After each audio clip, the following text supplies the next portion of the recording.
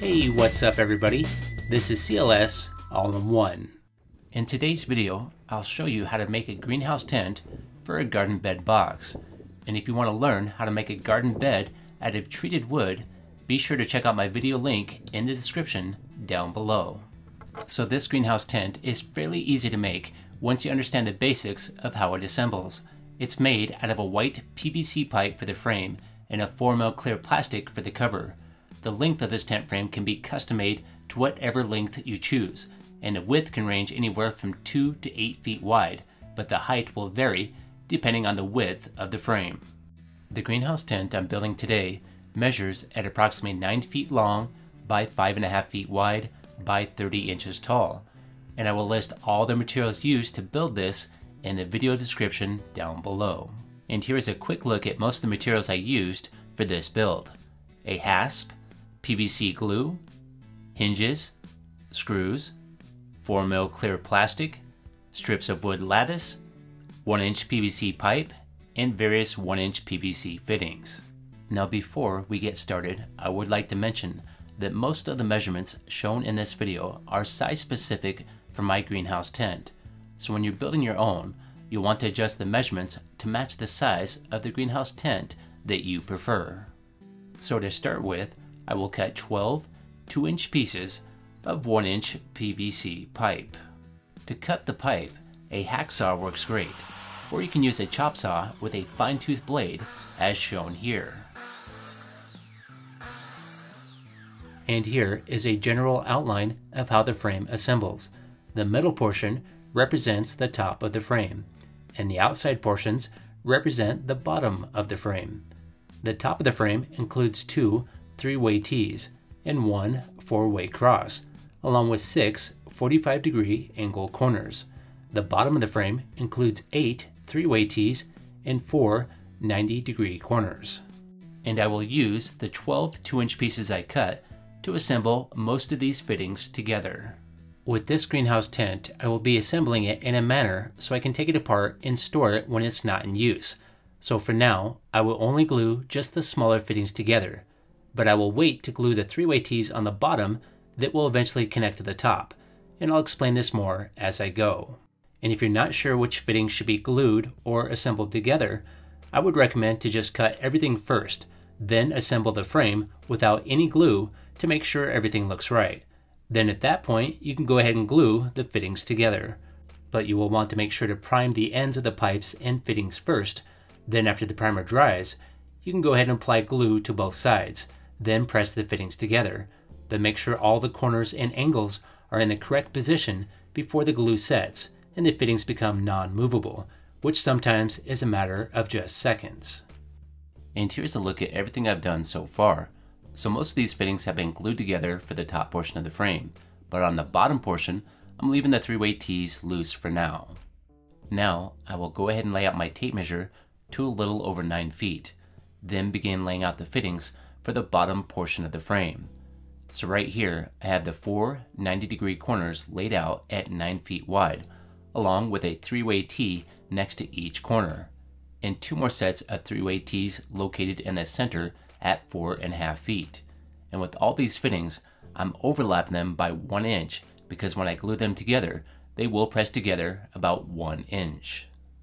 Now that I have all my fittings laid out for the bottom of the frame, I will go ahead and measure the distance between the fittings and make some marks on the pipe that I will be cutting.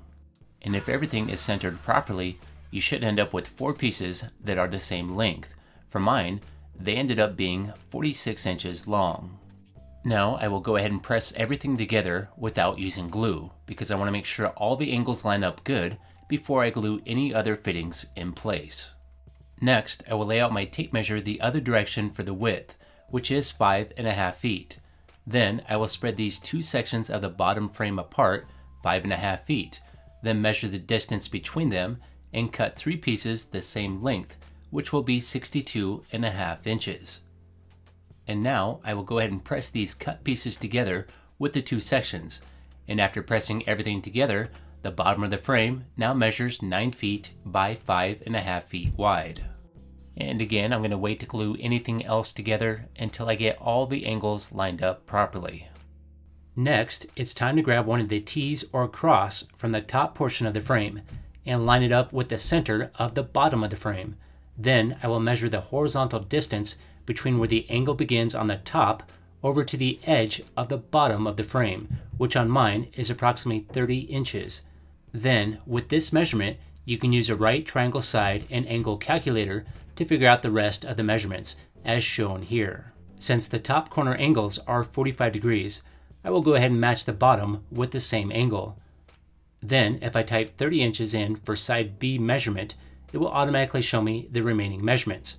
So this calculator shows me that the top of the frame, or side A, will be 30 inches high, and the distance on side C from top to bottom will be 42.43 inches. So I need six pieces of pipe cut at this measurement, but I can go ahead and round this up to 42 and a half inches, and that'll work just fine but it would be a good idea to just cut two pieces to start with, then do a test fit to ensure everything fits, then continue on. And during this step, you will probably need to adjust the bottom three-way T's to match the 45 degree angle at the top, which can be done just by twisting the T. And this step is one of the main reasons I like to wait to glue these fittings. Then, once I have these sections installed and plumb, I then measure the distance between each section then cut two more pieces of pipe. And because there is a slight 2 inch offset on the top of the frame due to the bottom three-way T's being centered, one of the sides is 2 inches shorter than the other. So I have one piece cut at 46.5 inches and the other piece cut at 48.5 inches. So at this point, once the frame is assembled and everything looks good, you can go ahead and start taking the fittings apart, then start priming and gluing everything back together. But if you want to be able to take it apart and store it in smaller sections like I will be doing, you can pick and choose which fittings you'd like to glue. Then with the fittings that are not glued in place, you can use some self-tapping screws to secure the fittings together. And I like to use at least one screw on each side of the fittings.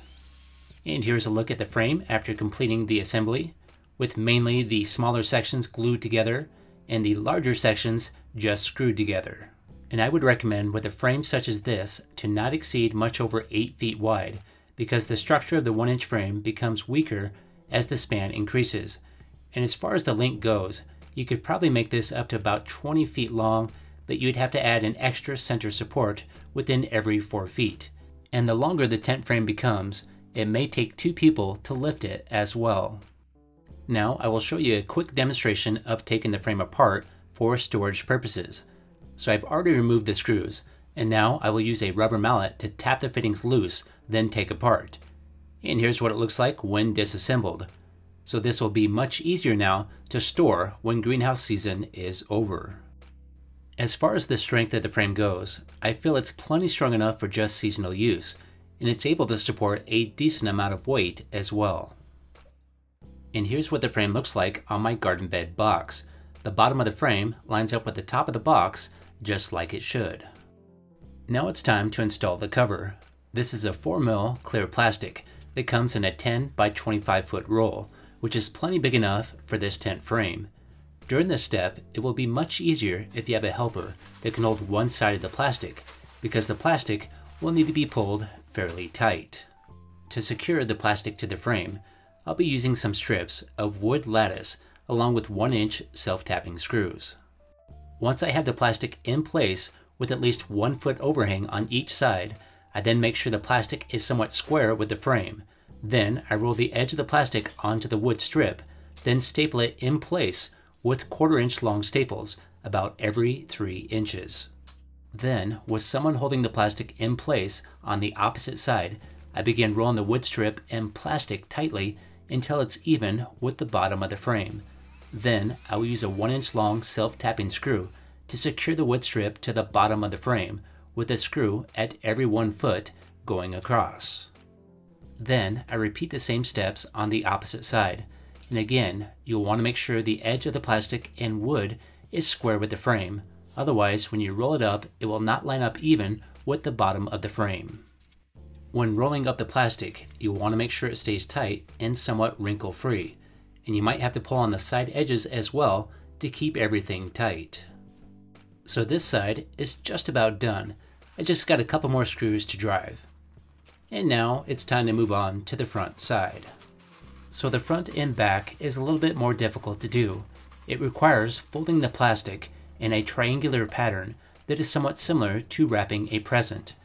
After folding the plastic, I then cut off any excess there may be, making sure to make a nice straight line with at least one foot of plastic sitting past the edge of the frame. Then I staple the edge of the plastic to the wood strip, then begin rolling the plastic tightly until it's even with the bottom of the frame. Then I secure the wood to the frame with the same 1 inch self-tapping screws. And for the plastic on the last remaining side or the back side, I just repeat the same exact steps. Now it's time to place the greenhouse tent in position. To secure the tent to the garden box, I'll be using some 3 inch strap hinges along with some 2 inch long screws, but optionally you could also use some bolts and nuts. The hinges will just sit centered between the box and the tent with the 3 inch strap facing down. Then I secure the hinges with screws on the box side first. Then on the tent side, I pre-drill some holes first that run all the way through the pipe. Then I secure the top of the hinge with the same 2 inch screws. The screws end up being a little long and pop through the other side, but because the screws are secured on both sides of the pipe, it provides a much stronger mechanical bond.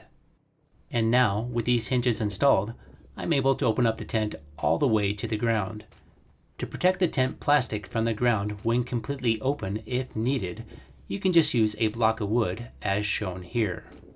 To secure and latch the opposite side, I just used a medium-sized hasp along with a spring clip lock, and I was able to attach this to the tent frame using the same routine I used for the hinges.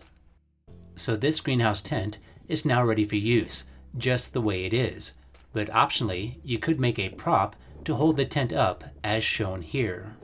So what I have here is a chunk of aluminum that is 3 16ths of an inch thick by 1 inch wide by 4 feet long that I have drilled a hole through at the top and bottom.